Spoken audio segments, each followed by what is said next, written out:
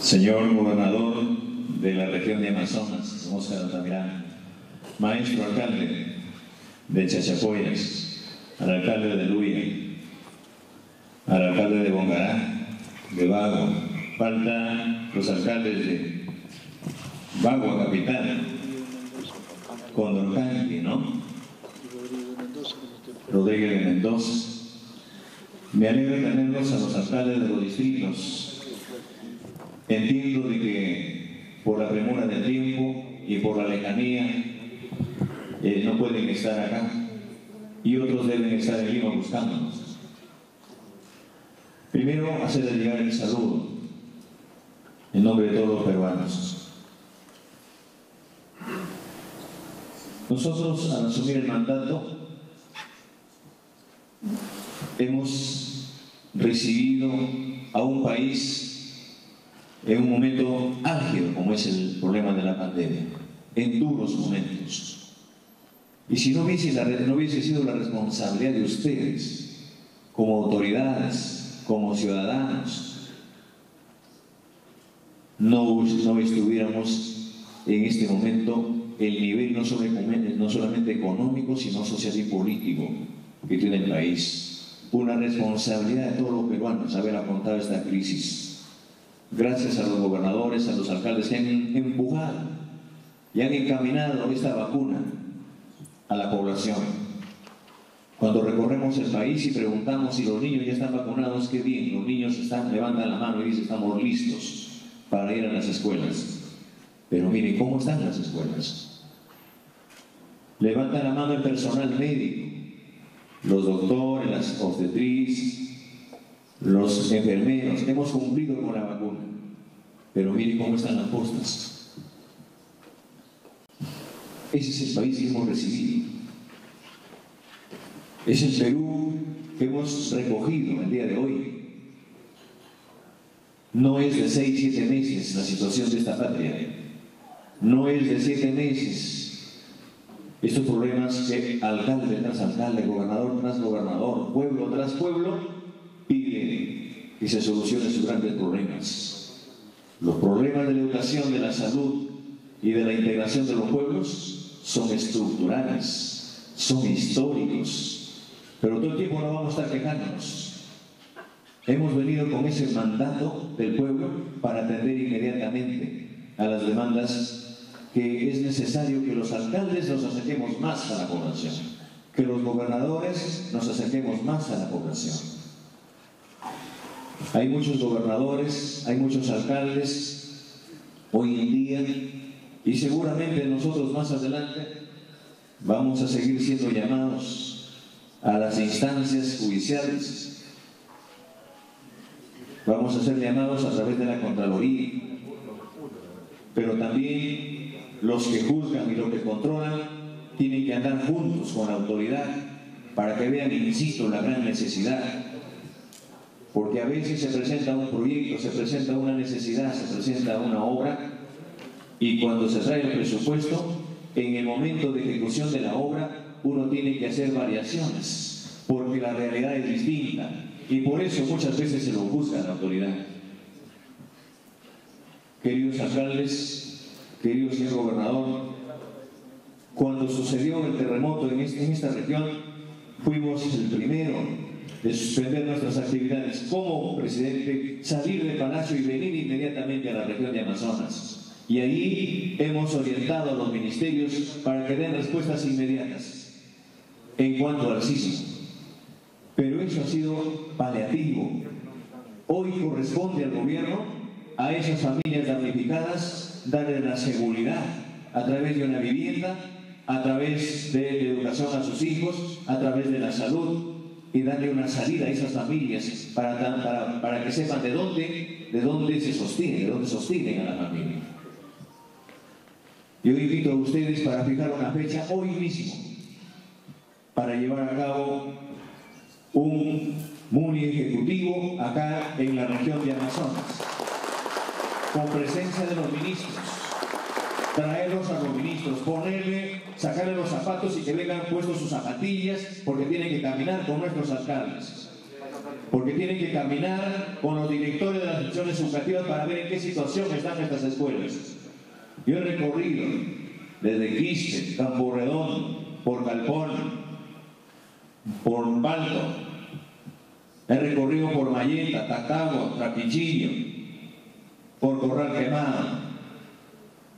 He caminado desde Puña hasta Baguarán. En aquellos tiempos ni siquiera se pensaba firmar esa carretera que hoy es pista. Y conozco las necesidades.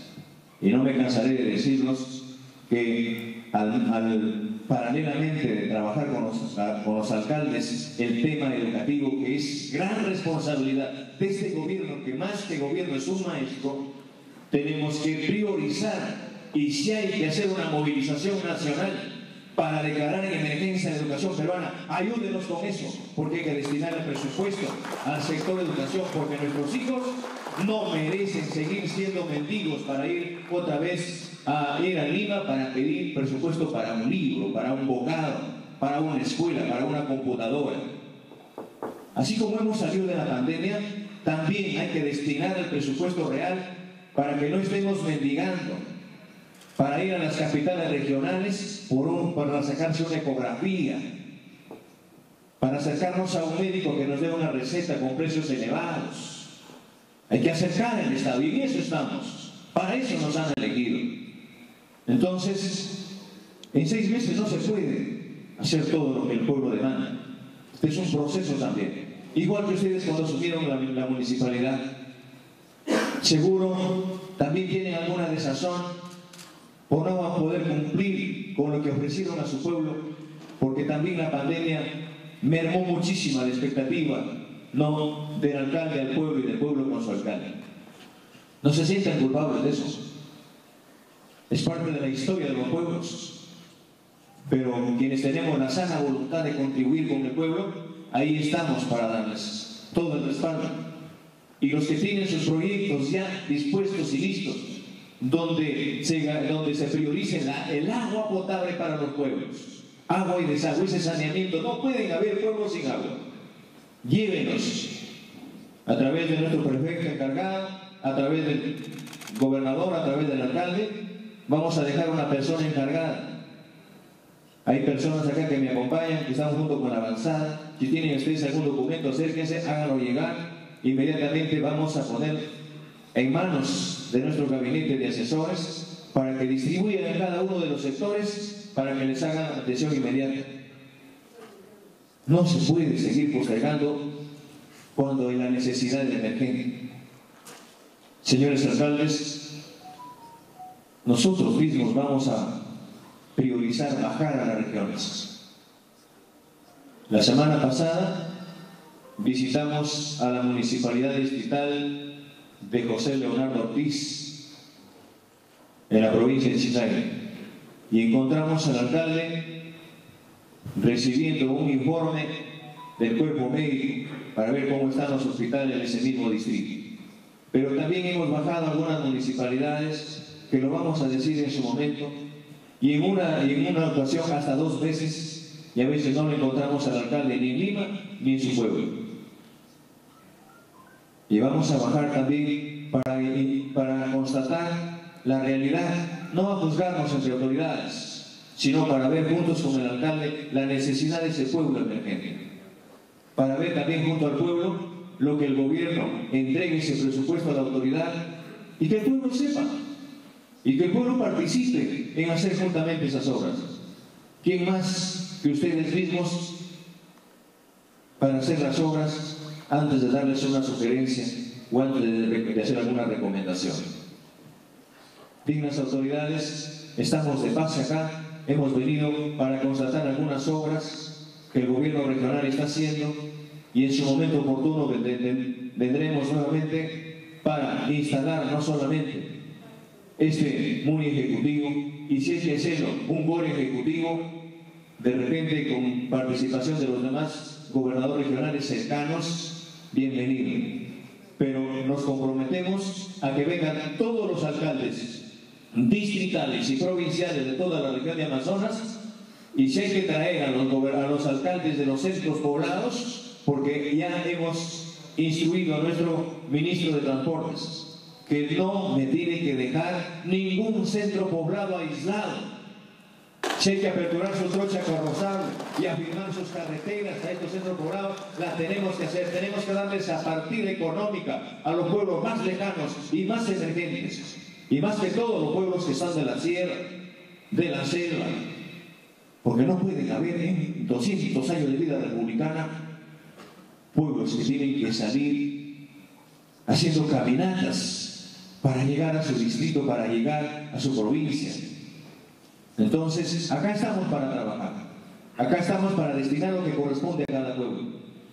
Y acercando, abriendo trochas, afirmando carreteras, vamos a ver de que ya jamás tengamos que quejarnos, tengamos que tener la necesidad, sino llevar las soluciones inmediatas y sacar los productos de, de las comunidades y garantizarles un mercado. Y a pesar de los fines y a pesar de estos ruidos políticos innecesarios e inútiles.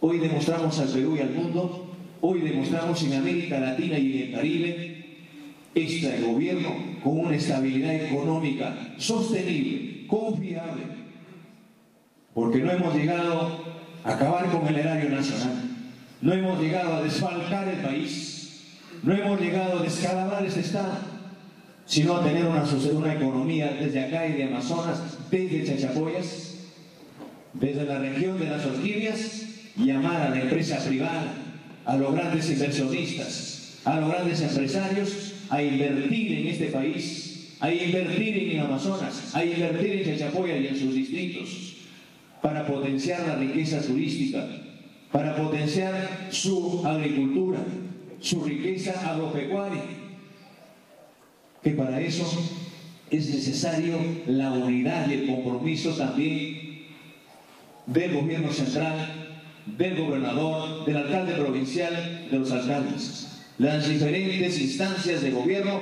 tenemos que hablar un solo lenguaje. Por eso creemos importante estos compromisos cercanos. Vamos a ir en este momento a Rodríguez, ¿no? Nos sacamos los zapatos, señor gobernador, y nos vamos entonces, mientras acá se agenda de una vez por todas el día de hoy. No sé si en este momento ponemos la fecha para llevar a cabo el boni ejecutivo. ¿Estamos de acuerdo? Muy bien. a ver, hay que avanzar porque dos de la tarde está esperando la región de la región de Lambayeque, ya está ahí incluso con sus congresistas están ahí los ministros esperándonos para ver de qué manera vamos a encaminar. Y ahí, en esa, en esa fecha que, volvamos, vamos a agendar o vamos a llevar a cabo la agenda Amazonas. Y ahí se tiene que estructurar el trabajo. Y si hay que hacerlo en una segunda reunión, nos iremos al distrito más lejano, al distrito más fronterizo que tiene, este, que tiene esta región. De mi parte, yo los agradezco. ¡Viva Amazonas! ¡Viva el Perú! Muchas gracias.